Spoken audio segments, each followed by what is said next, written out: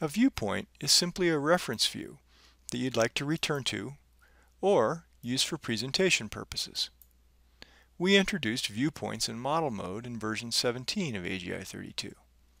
Well, for version 18, we've introduced viewpoints in render mode.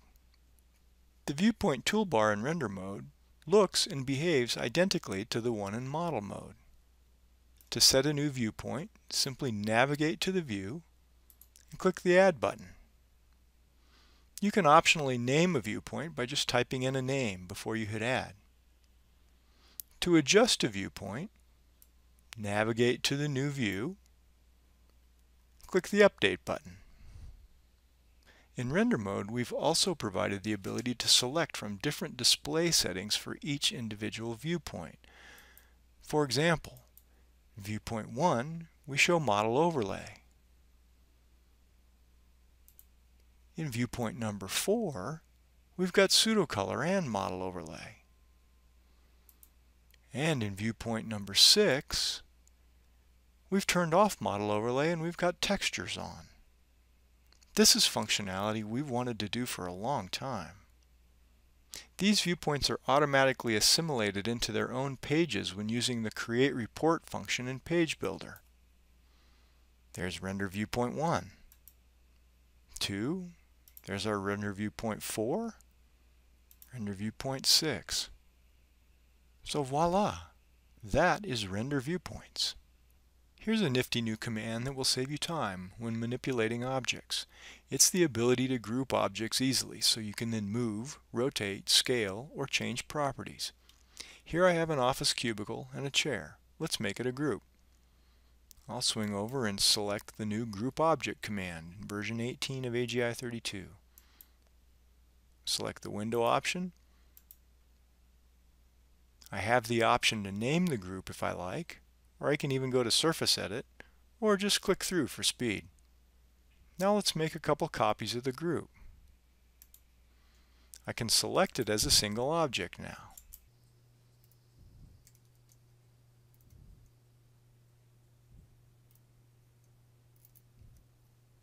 Now let's group these. I'll go back to the group command and window around those. That's now a group of a group, or a nested group. Let's copy a few more of those.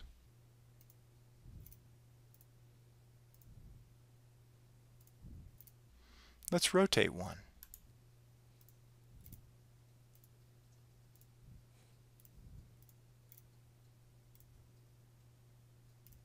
We could group this selection if we like. It'd be a group of a group of a group. We can move backwards using explode. So let's select the explode command and select that group. Now I have the ability to select one instance and move it off. I can explode this one again and now I have the ability to move the chair for example. It's quite handy. This can also be done in Project Manager. You can see your groups here labeled as group. You can rename them if you like.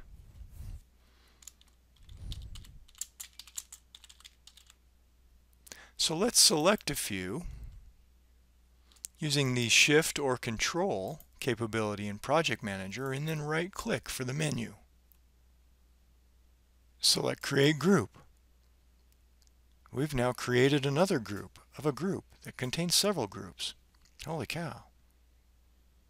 Or, likewise, we can right-click and explode that group.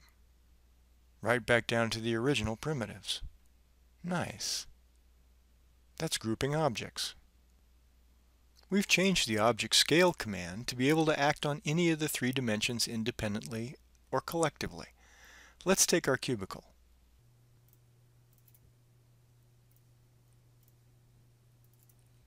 It's currently 6.25 by 9.5 feet. Let's make it 7 by 10. We'll go to the Object Scale command. Select a point to scale from. Here's the new dialog. The old way, you could only scale all three dimensions equally. This still can be done with the lock aspect ratio box checked.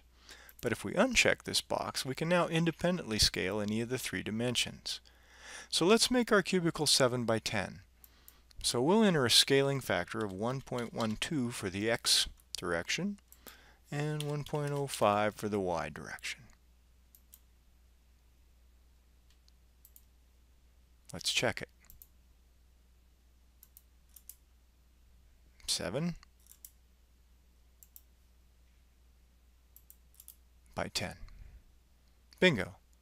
This also works on groups of objects. Watch the group video. Prior to AGI 32 version 18, in order to disable an object you had to use Project Manager. While you can still do that, we saw this as a very common operation needing more accessibility. So now there is a new command in the toolkit to disable objects. You can use the single, window, or all functions. Here we've got a group of cubicles. You might want to disable them while you experiment with lighting alternatives. Use the command, disable the cubes. You can re-enable them from Project Manager.